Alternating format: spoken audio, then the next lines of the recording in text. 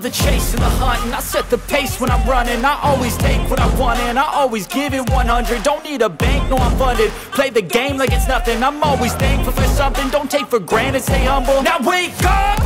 It's time to look at the enemy. Look in the mirror if he is no friend to me. It's not working out, maybe it's the chemistry. Fala aí galera, beleza? Aqui é o Márcio e no vídeo de hoje nós vamos conhecer o meu setup.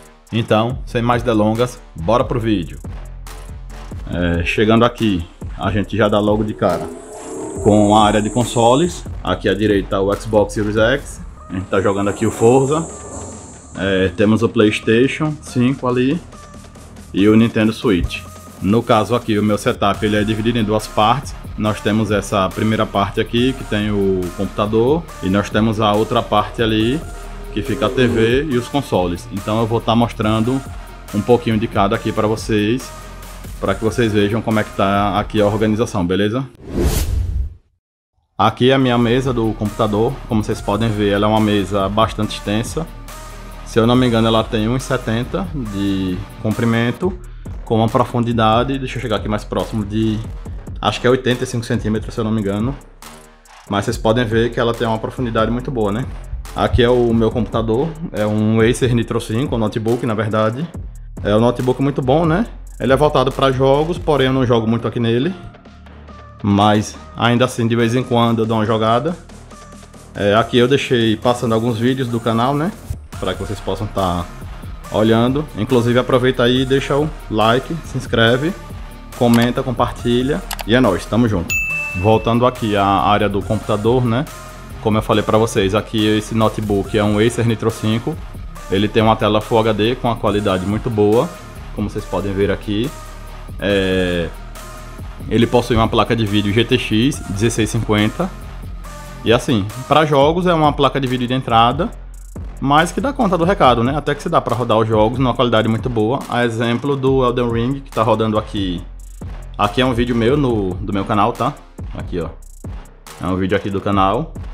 Mas ele tá rodando aqui no Nitro 5, ó. Vocês podem ver aqui. A primeira hora no Nitro 5. E ele roda na qualidade muito boa. Originalmente ele vem com 8 GB de memória mas eu fiz o upgrade nele, coloquei mais um pente de 8 GB, ficando com 16 GB em Dual Channel. Para edição ele é muito bom. Aqui está um projeto aqui de um vídeo aqui do canal. É o vídeo do PlayStation 5. Ah, tá aqui o projeto de edição e ele dá conta do recado com bastante tranquilidade. É, eu consigo estar tá editando os vídeos aqui do canal nele sem nenhuma dificuldade. Aqui está meu teclado que eu uso, é um teclado mecânico é, a marca dele vou estar deixando na descrição, é um nome meio esquisito. Mas é isso aí. Ele é um teclado muito bom, muito confortável para digitar. É, para jogar eu não sei, porque sinceramente eu jogo pouco no computador e o pouco que eu jogo eu uso o controle mesmo. Esse aqui é o meu microfone que eu uso aqui no canal, é o Fi-Fi Amplygame. Tem esses RGB aqui que fica trocando e tal, né? A gente não tem como tá mexendo nisso, ele troca aleatório. É, tem uma qualidade muito boa, no caso, agora que, que eu tô gravando o vídeo não, eu tô usando um outro microfone aqui, é um Boya BY-MM1. Mas normalmente eu uso ele aqui no canal. A maioria dos vídeos que vocês veem aqui é gravado com ele mesmo. Essa aqui é a minha cadeira, ela é da marca XT Racer. É, XT Racer Viking. É uma marca brasileira. E essa cadeira é muito boa, muito confortável. Ela tem ajuste aqui nos braços de altura e você pode também ajustar a angulação, tanto para dentro quanto para fora. É, eu uso aqui essa caixa de som da Edifier, no caso é um par, deixa eu estar tá passando aqui para outro lado para tá mostrando a vocês. São aqui, são essas duas caixinhas. É, o modelo dela é R33BT. Elas funcionam tanto por cabo como por Bluetooth. E um outro detalhe dessa área aqui do computador que ia passando batido também é esse carinha aqui. O Super Nintendo Mini é, nos vídeos do Switch ele sempre aparece, né? Ele é bem pequenininho, como vocês podem ver. Cabe aqui na palma da minha mão, ele fica aqui como decoração. Mas de vez em quando eu ainda uso ele. Começando aqui pela área dos consoles. Caramba, o cara levou meu carro embora. Mas vamos lá. Então vamos lá. Começando aqui. É, nós temos aqui o Xbox Series X. Aqui ao lado dele nós temos o PlayStation 5 e o Nintendo Switch OLED. Temos aqui também o meu Nintendo Switch Lite. É, esse aqui é um dos aparelhos mais bonitos aqui da minha coleção, que eu acho. Eu gosto muito dele. É, deixa eu botar aqui na luz. Aqui, agora achei um ângulo bom. Aqui, eu adoro bastante esse aparelho. É, apesar de ter o Nintendo Switch OLED, eu já tentei me desfazer dele, mas tá complicado. Porque eu gosto muito dele, acho ele muito bonito. Então, por enquanto, ele fica aqui comigo. Estamos com o jogo novo das Tartarugas Ninja. É, tá rodando aqui no Nintendo Switch OLED. É, aqui nessa parte nós temos alguns jogos, eu já dou uma passada aqui por eles, mas vou mostrar aqui as caixas dos consoles. É, temos aqui a caixa do Xbox Series X, PlayStation 5, a caixa do controle do PlayStation 5. Temos aqui, deixa eu aproximar mais, a caixa do Super Nintendo Classic Mini. Temos também a caixa do Nintendo Switch OLED e do Switch Lite e o Pro Controller do Switch junto com a caixa da case do Nintendo Switch. Aqui nesse pequeno nicho nós temos alguns jogos de PlayStation 4, é, alguns jogos do PlayStation 5, alguns jogos do Switch e tenho essa Steelbook aqui do Sekiro também, tá de cabeça para baixo. Deixa eu colocar aqui. Muito irado, esse jogo aqui é muito bom, velho. Bom pra caramba, porém difícil. Esse aqui é o Souls-like mais difícil que eu já joguei na vida. E tem uns bonequinhos ali do Star Wars também. Como decoração aqui eu tenho alguns quadros, né? Além ali daquela área das caixas, dos consoles e tal. Temos esses quadros aqui como decoração também, né?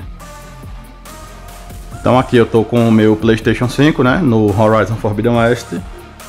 Vou estar tá entrando aqui na, no menu inicial.